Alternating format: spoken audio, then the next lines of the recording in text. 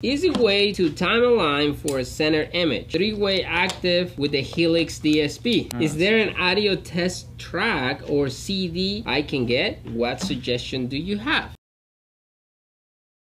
This right here is the My Disc from Sheffield Lab. And on that disc is three people describing their position that, you know, I'm talking center, so left, center, right, polarity pops, and pink noise. If you're an Apple Music guy, or you can buy the whole disc. Now the disc itself has a ton of other test tracks on it for doing all kinds of things. Like it is, that is the CD to have for everything. Mm-hmm. Um, just be careful with it because it also has lots of test tones. You want to make sure that it's isolated in your playlist all by itself because you don't want to be like playing a 0 1000 hertz test track all of a sudden just the other that we use which is the new Educar uh, test and tune app you can get on Mhm. iTunes it's like 20 bucks and what it has is pink noise which is mono right here and then you have left of center center. center right of center and then you have all your pink noise tracks in their bass mid treble and whatnot Mhm. and then you have test tones in the test portion of it. You have left minus center, left right, mono, and then across the bottom here you have a 1 kilohertz sweep. And then for setting your gains, you have 40, 250, 1K, 0 dB, negative 5, and negative 10. These two applications get me everything I need. Now, what you have to have out of all of this though is some form of an RTA. That is the most important thing. If you don't have an RTA, then you're kind of gonna have a really hard time with this because you have to be able to match your left to your right. That's the most important thing, meaning when you're looking at the output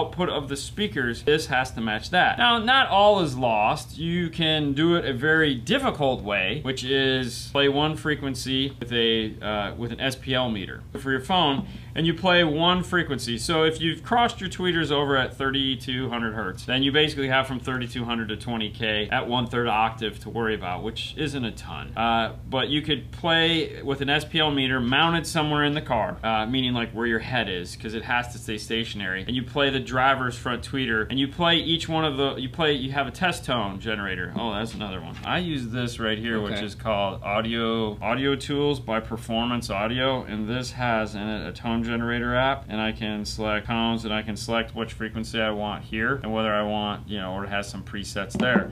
But anyways, if you play, let's say a thousand hertz here, and you see what your SPL volume is on it, then you can go over and play a thousand hertz here and see what your SPL is, on it, and you can adjust the levels that way. Let's say this one puts out 100 dB, and mm-hmm. this one puts out 105 dB. Turn the volume down until it says 100 dB, and then you just work your way through that. And RTA is doing that all at once, so it's looking at this whole, you're playing pink noise, and it can measure all of those frequencies. Now, for an affordable RTA, you could grab the AudioFrog UMI1, open that up for me, and inside the box for this. Now, this works with a software called REW, which you can download for your Windows or Mac. It comes with the CD. This guy right here, the Audio AudioFrog CD, is phenomenal. Uh, but it comes with the microphone and all the adapters in order to plug this into your laptop Yeah. in order to do all your RTA testing. All right, I hope that covers that.